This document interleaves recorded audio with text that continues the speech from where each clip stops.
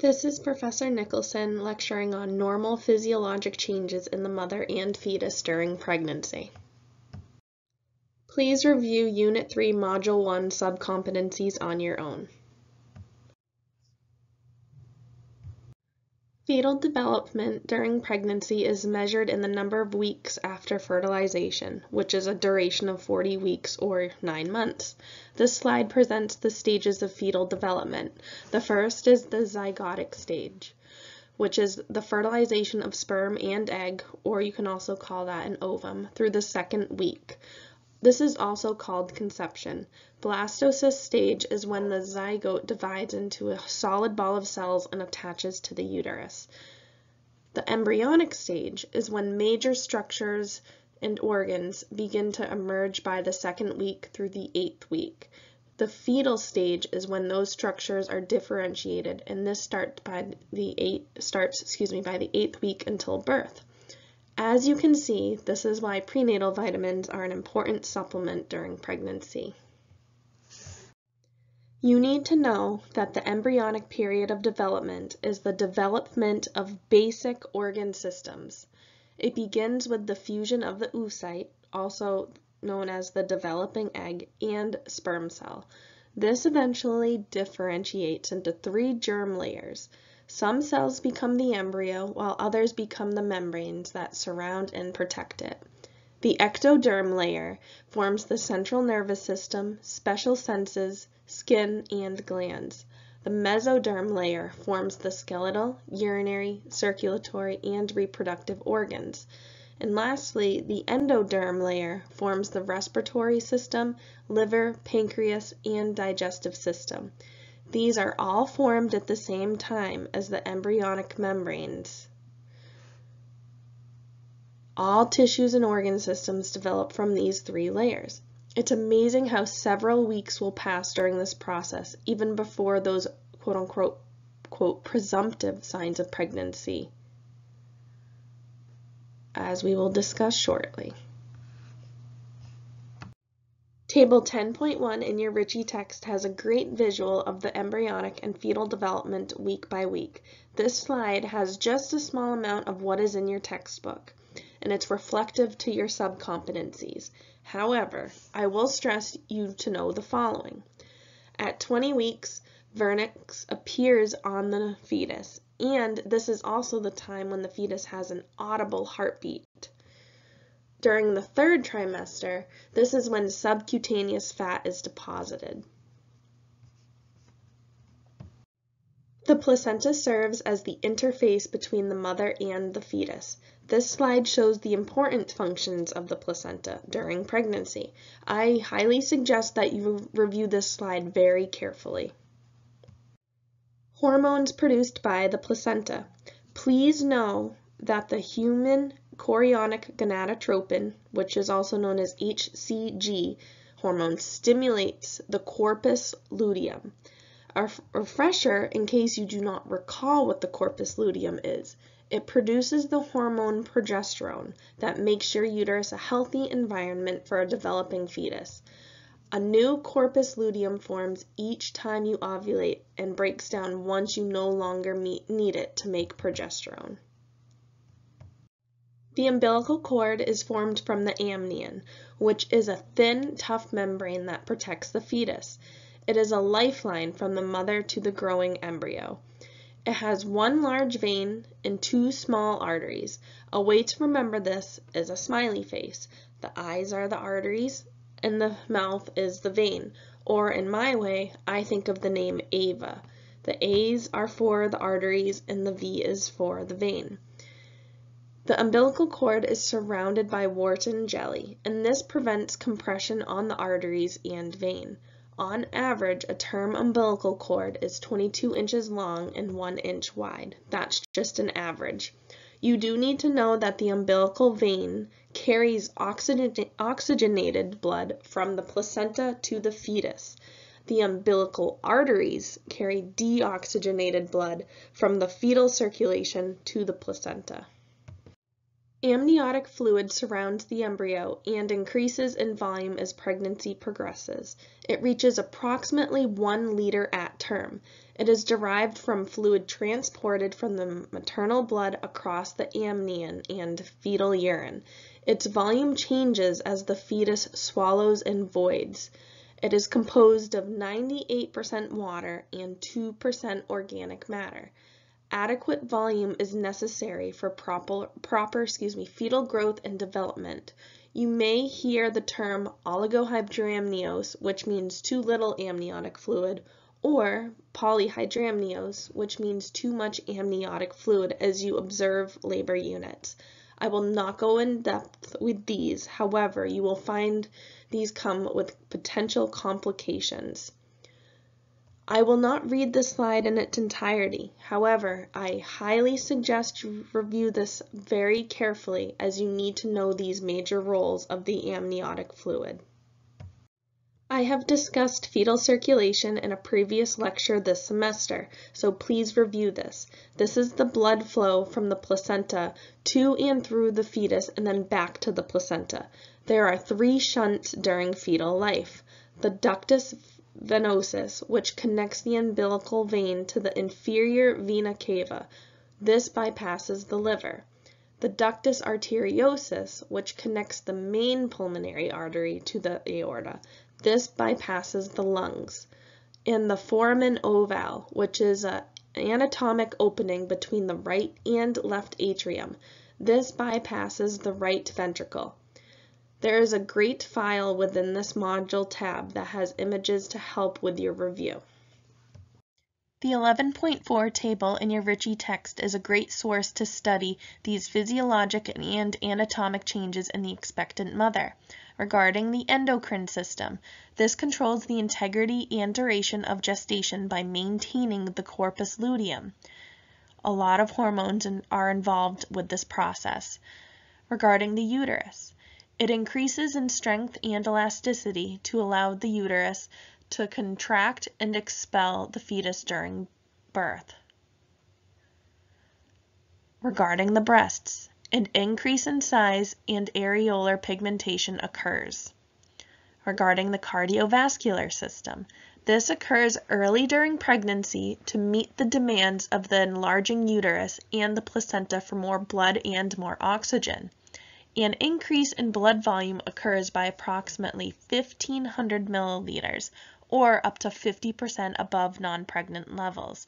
This supports the placenta and arteriovenous shunt in the maternal vascular compartment. You need to know the physiologic cause of varicosities in the lower extremities and vulva is due to the compression of the abdominal veins by the progressively enlarged uterus. Regarding the respiratory system, the amount of space available to house the lungs decreases as the uterus puts pressure on the diaphragm. This causes a pregnant woman to breathe faster and more deeply because she and the fetus need more oxygen. Moving on to the GI system, smooth muscle relaxation and decreased peristalsis occurs related to the increase of excuse me, the influence of elevated progesterone levels. This results in delayed gastric emptying and decreased peristalsis. Regarding the urinary system, hormonal changes increase blood flow to the kidneys. The biggest structural change in the renal system during pregnancy is dilation of the renal pelvis and the uterus. Regarding the integumentary system, most women experience hyperpigmentation during early pregnancy due to hormone fluctuations, typically generalized and mild. Many pregnant women express concern about stretch marks, also called striae, as well as skin color changes and possible hair loss. Many women experience the pigmentation that extends from the umbilicus to the pubic area. This is called the linea nigra, and I have a picture of that right here on this slide. Lastly, the musculoskeletal system. Postural changes occur during pregnancy. The woman has an increased sway back due to the enlarging uterus. The loosening of the sacroiliac iliac, excuse me, sacroiliac joints could cause lower back pain. The hormones progesterone and relaxin have an influence on the pelvic joints as it supports the growing fetus. There is also an increase in the lumbosacral curve, leading to a waddling gait. Presumptive signs of pregnancy are those signs that the mother can perceive. The most obvious is the absence of menstruation. Skipping a period is not a reliable sign of pregnancy by itself, but if it is accompanied by consistent nausea, fatigue, breast tenderness, and urinary frequency, pregnancy may be likely. Presumptive changes are the least reliable indicators of pregnancy because any one of them can be caused by conditions other than pregnancy, such as amenorrhea, GI disorders, cancer, oral contraceptives, etc. Probable signs of pregnancy are those that can be detected on physical examination by a healthcare provider. Ballottement is when the examiner pushes against the woman's cervix during a pelvic examination and feels a rebound from the floating fetus. This is around 16 to 28 weeks. The Goodell sign is softening of the cervix, which is around 5 weeks. The Hegar sign is softening of the lower uterine segment or the isthmus around 6 to 12 weeks. And the Chadwick sign is a bluish purple coloration of the vaginal mucosa and cervix, which occurs during weeks 6 through 8. Checkpoint. Although I did not discuss this in any of my previous slides, this is within your textbook and something you should know. What gestational age can an ultrasound assess gender? The answer here is C, 16 weeks. And just a heads up, a transvaginal ultrasound may be performed in the first trimester to confirm the pregnancy, but that cannot determine the gender. Only an ultrasound around 16 weeks can. Positive signs of pregnancy. This is usually within two weeks after a missed menses. Enough subjective symptoms are present so that a woman can reasonably be sure that she is pregnant. However, an experienced healthcare provider is the one who can confirm it. Positive signs of pregnancy confirm that a fetus is growing in the uterus. Visualizing the fetus by ultrasound, palpating for fetal movements, and hearing a heartbeat are all signs that make a pregnancy certain. If the pregnancy test is positive, a visit should be established so that the estimated gestational age can be determined. Patients should receive information, such as normal signs and symptoms of early pregnancy, and be instructed on when to call regarding concerns. Once pregnancy has been confirmed, the healthcare provider will set up a schedule of prenatal visits to assess the woman and her fetus throughout the entire pregnancy. Assessment and education begins at the first visit and continues throughout the pregnancy. Please do not get confused when you hear EDD or EDC. In your subcomps, it says to know EDC, which is estimated date of confinement. You will also hear EDD, I am sure. This is a synonym for EDC, which is also known as estimated due date. Establishing an accurate due date is one of the most important assessments for a pregnant woman. This EDD represents the anticipated birth date of their child. This provides guidance for the timing of specific maternal and fetal testing throughout pregnancy, gauges fetal growth parameters, and provides well-established timelines for specific interventions in the management of prenatal complications. You should know that most women begin labor within 10 days of their EDC. Again, most women begin labor within 10 days of their EDC. Also know that the estimated due date or estimated date of confinement, you can say, is based on a 40 week gestational age. Checkpoint. What is the most reliable measurement of the fetus between 7 and 14 weeks gestation if a patient is unsure of their last menstrual period? The answer is crown rump length. This technique involves measurement of the fetal length from the tip of the cephalic pole to the tip of the caudal pole, so head to tail. The fetus should be at rest in assuming its natural curvature. I'm not going to read this slide, but I just wanted you to be familiar with some terms you might hear while you're in the OB setting. The Gravida slash para method. This is the most common method you will see on units. Gravida just means the current total pregnancies, and para is the number of births, and this does include live and stillbirths that reached a viable gestational age. So nothing under 20 weeks is counted, only the births after 20 weeks. Abortions can include spontaneous abortions, SAB, as well as therapeutic abortions, TAB. And then, of course, we document the amount of living children. A great example, if there are twins, that is just one added to the gravida portion because it's one pregnancy. But if you include them in the para portion, this would be two because they each have their own birth. Regarding GTPAL, so G is for gravida, gravida with a D. This is how many pregnancies, as I mentioned. T is for how many term births there were. P is for how many preterm births there were. And A is how many abortions. This includes miscarriages, spontaneous, as well as therapeutic abortions and L stands for living children. Checkpoint. Determine the obstetric history of the following patient.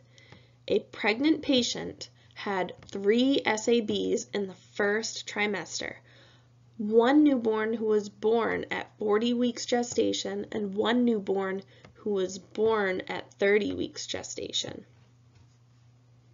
Give you just a moment to think this one through. The answer you should have picked was B.